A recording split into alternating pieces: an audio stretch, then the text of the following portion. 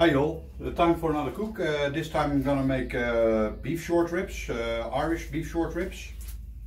Uh, what I will use for seasoning is uh, SPG, salt, pepper, garlic from Sakkelbusters. And I'm gonna be using uh, oak wood to smoke it with and let's see how it will go.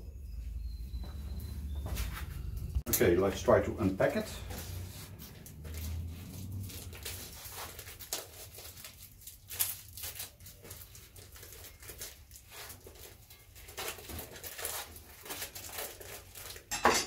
Let's glove up, excuse me.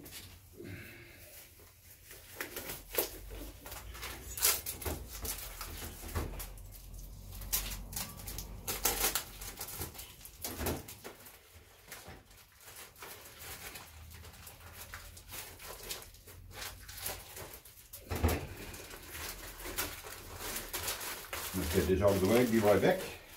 As you can see, those are the beef ribs. Um, a little bit of fat on the uh, this side. I will trim that off.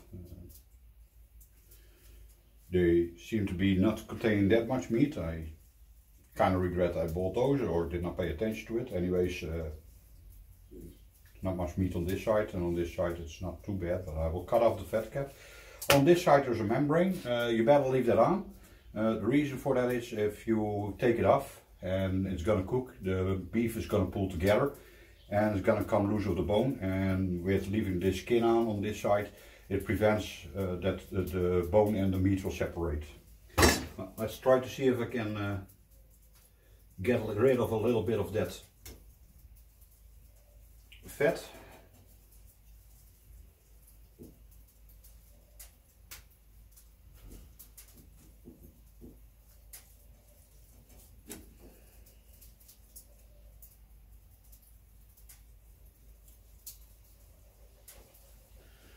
I'm not going to cut too deep because then I'll lose the flesh, the meat, and it is already not that much it. Best thing to do is when you are cutting is tilting your knife in a slight angle upwards. That gives you better control and prevents you to cut into the meat.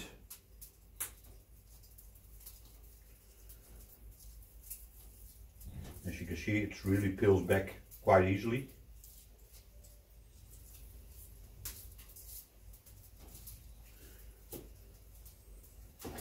especially if it's still cold.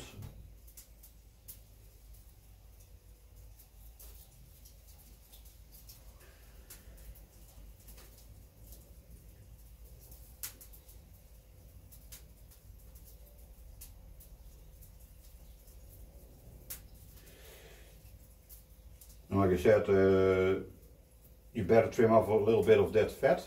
Reason is uh, the rub won't penetrate um, it won't ramp down completely so you will have like quite a chewy thing. And what I'm taking off here is some silver skin. Uh, told you in the other videos about it as well uh, silver skin is just a tough skin and you don't want to be eating that either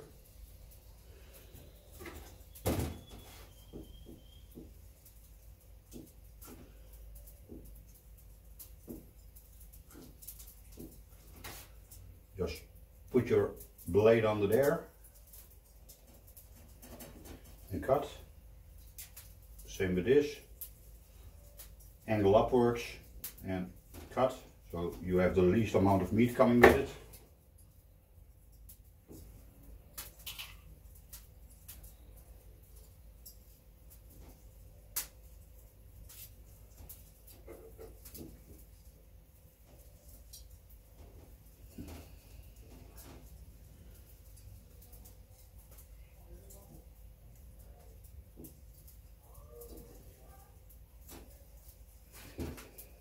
Getting there, slowly but surely. Also mind, I'm not a professional, not at all. I'm not doing competitions, I'm not a butcher, nothing. Uh, just your average guy that's just loving to barbecue. And every time for me it's an adventure. Uh, and I'm still learning a lot. What I learned, I'm trying to share with you.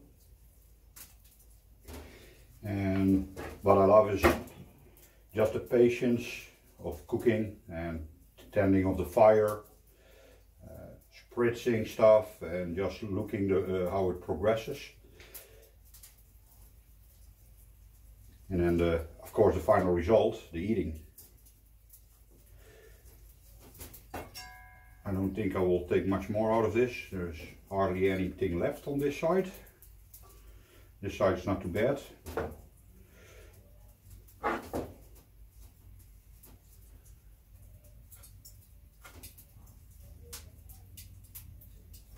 Pinch through here and grab this little bit.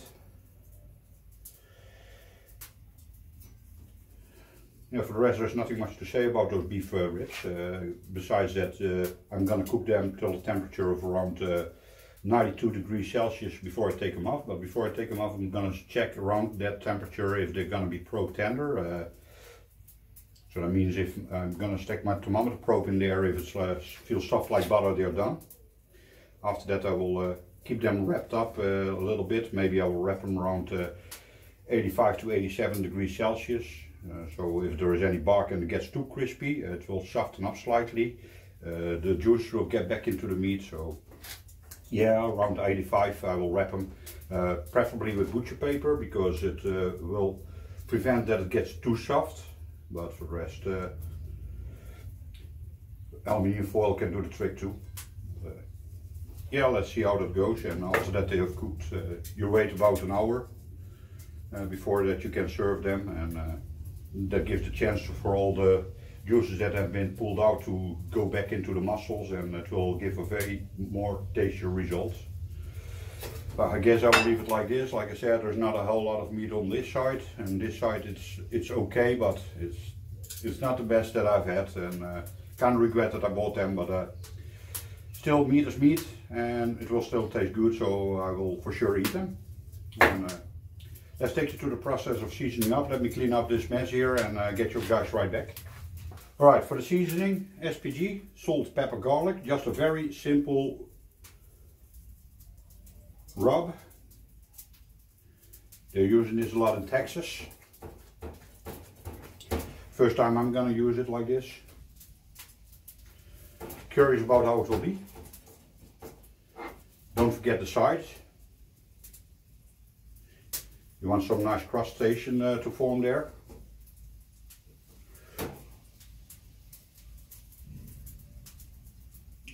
Or bark, or whatever you want to call it. You don't need to do the back side, it's just uh, skin, uh, or it's just a big, big fleece, won't penetrate through there. Just uh, make sure the meat just shines through a little bit, let it go for like 15 to 30 minutes. Meantime my grill is heating up and uh, Let's uh, take it from there. Okay, it's time to put in the wood. Like I said, it's going to be oak.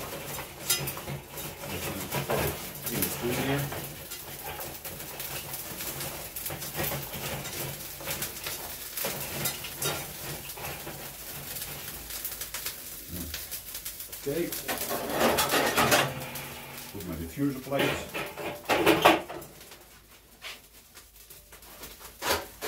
Drip pan. I'm going to fill that up with some water later on keep the humidity uh, in the grill.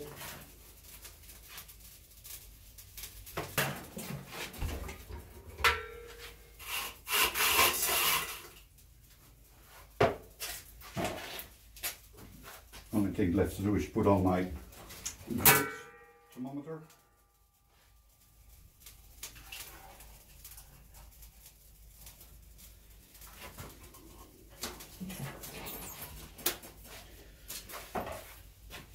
and I'll have connect. Let's see if it works again because last time I had an update and uh, it thought it went uh, above the temperature range which was totally not the case. Now they put another update so I hope they fixed it.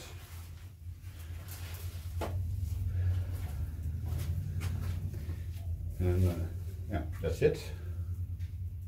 Yeah, one more thing, uh, you see the smoke coming out, it's uh, very very smoky and it's still uh, too cold to render well. Uh, the smoke like this might give bitterness and uh, toxic fumes, just let it go and get let the grill get up to temperature so you have more bluish transparent smoke. Plus that also will penetrate the meat better and everything and that's it.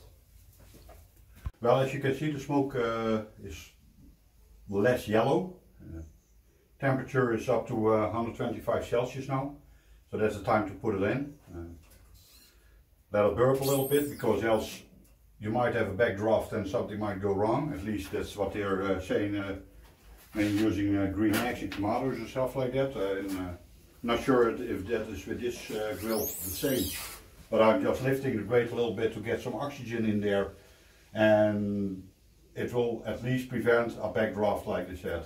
Okay, I put my meat in. Um, that has to go for about four to six hours. After like three hours I will check how it is. And uh, yeah, I'm aiming, like I said, for that, uh, yeah, 87 degrees before I will wrap it into uh, butcher paper and let it go up to 92 till it's probe tender. But I might also not wrap it, I don't know yet what I will do. And I might spritz it, I might not spritz it, I will just see how it goes. Uh, for sure I will go inside now and uh, get some water to put in the drip pan to keep the moisture uh, level up in the, the grill. And uh, let's see uh, after like an hour or two what the results will be and uh, see you guys later.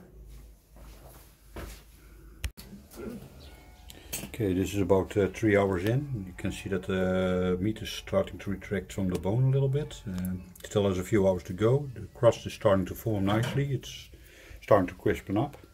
Uh, we'll let it go for like another hour, maybe two hours, and then maybe uh, see then if I need to spritz it or wrap it. Okay, I got my beef ribs in for like uh, three hours, three and a half hours. Uh, still have a few hours to go. It's now at 78 degrees Celsius and has to go up to 87, so 10 degrees more.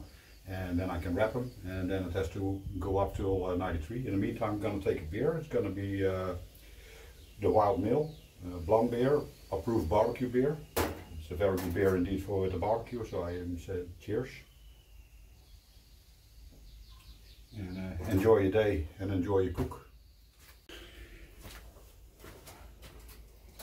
The result after four and a half hours. Uh, I will get you guys some closer.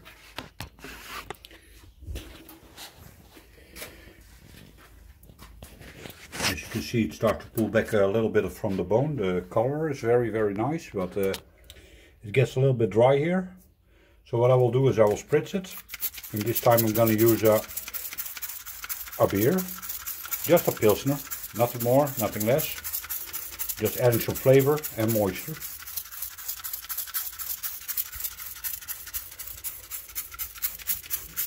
And let's see what I will do with the result. Beer braised short ribs.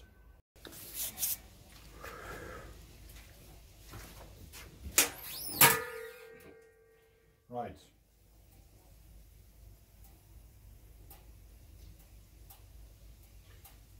93 inside, probe tender, goes in like butter. I'll take it out, put it in a tray, see if I can get the thermometer out. As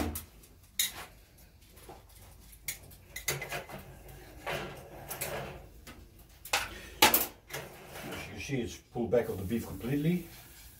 It's the rear side. I'll put it in here.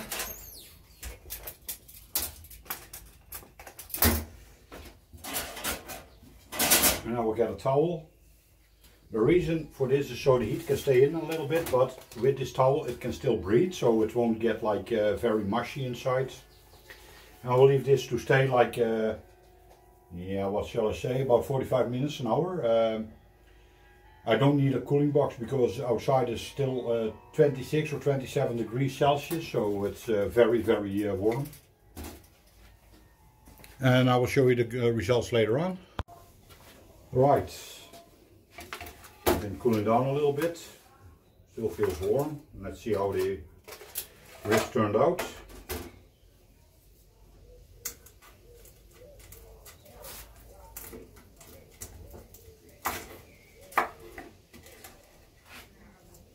This is how it looks. I'll make a little photo and I'll show you guys.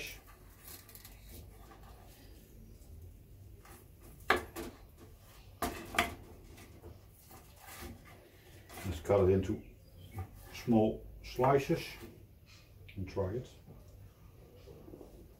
Mm. Excellent.